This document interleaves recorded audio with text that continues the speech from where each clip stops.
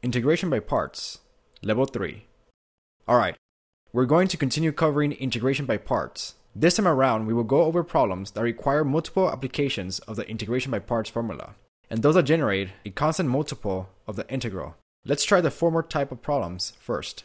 Find the integral of x squared times cosine of x dx. Okay, this time around, we actually have a product of two functions, x squared and cosine of x. Like always, we need to assign our u and dv. The best choice occurs when we let u equal to x squared because this function becomes simpler when we take its derivative. So taking the derivative of u with respect to x, we obtain 2x, which is one power less than the original function, and as a result, a much simpler function. Next, we assign dv equal to cosine of x dx. Taking the integral of cosine of x, we obtain sine of x. Now that we have all the required functions, we use the integration by parts formula and substitute them. Doing that, we have that the integral of x squared times cosine of x is going to be equal to x squared times sine of x minus the integral of sine of x times 2x dx. Now notice that the integral of sine of x times 2x requires an additional application of the integration by parts formula. What we're going to do is to carry out a substitution and let the variable i equal this integral that requires an additional application of the integration by parts formula. It's important not to lose track of the original integral we are looking for. So making the substitution, we have the following expression. Now putting that aside and focusing on this integral, we carry out the familiar steps and apply the integration by parts formula once more. Same ideas apply. Make u equal to a function that becomes simpler when differentiated. So we let it equal to x. In the same manner, we let dv equal to sine of x. So taking the integral of sine of x gives us negative cosine of x. Substituting these expressions into the integration by parts formula, we have the following. The integral of x times sine of x dx equals negative x times cosine of x minus the integral of negative cosine of x dx. We factor out the negative sign and simplify. And finally, taking the integral of cosine of x, we have that the integral of x times sine of x dx is equal to negative x times cosine of x plus sine of x plus c. Now, let's go back to the original integral that we are trying to solve and substitute i with this result that we just obtained. And then we simplify. Doing that, we obtain the following.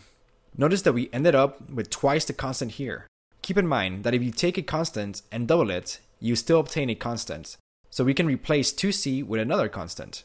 So after all that, it turns out that the final integral of x squared times cosine of x dx is equal to x squared times sine of x plus 2x times cosine of x minus 2 times sine of x plus c1, where c1 is just equal to twice the original constant. A word of caution when making repeated applications of the integration by parts formula, you need to be careful not to interchange the substitutions in successive applications. For example, in this problem, we decided to let u equal to x and dv equal to sine of x. If in the second application we decided to switch the substitutions, with u being equal to sine of x and dv equal to x, we would obtain the following. The integral of x times sine of x dx would be equal to sine of x times 1 half x squared minus the integral of 1 half x squared times cosine of x dx. And i will be represented by x squared times sine of x over 2 minus the integral of x squared cosine of x over 2 dx. And substituting this expression to the original integral, we would obtain x squared times sine of x minus x squared times sine of x plus the integral of x squared times cosine of x dx. At this point, notice that by switching the second substitutions, we undo the previous integration and return to the original integral. So be careful when you repeatedly apply the integration by parts formula. Repeated use of the integration by parts formula seems pretty tedious at times. There is actually a little shortcut that can save you some time. It is often referred to as the tabular method. This method is best suited for integrals of the form x to the n times sine of a times x dx or x to the n times cosine of a times x dx, or x to the n times e to the power of a times x dx. Let's use the tabular method to find the integral of the following problem. Find the integral of x squared times sine of pi times x dx. The first step is to set up a table with two columns. The first column will contain u and its derivatives, and the second column will contain dv and its integrals, or antiderivatives. Next, we select our u and dv for this integral, we set u equal to x squared. Now the next step is to repeatedly take derivatives until we obtain 0. Doing that yields the following functions. Next, we take our dv and repeatedly take integrals to match the number of rows that were generated from the differentiation step. In this case, we take four integrals, one after the other. Doing that yields the following functions. Next is just a matter of pairing up the functions. So we take the function from column 1 and multiply it diagonally to the right by the function on the second column and second row. Next, we multiply the function in the first column and second row with the function in the second column and third row. And we repeat this pattern until we reach the function in the second column and last row. Next, we alternate the signs going down the middle between both columns for each row, as follows positive, negative, positive, and include them when we multiply the diagonal entries.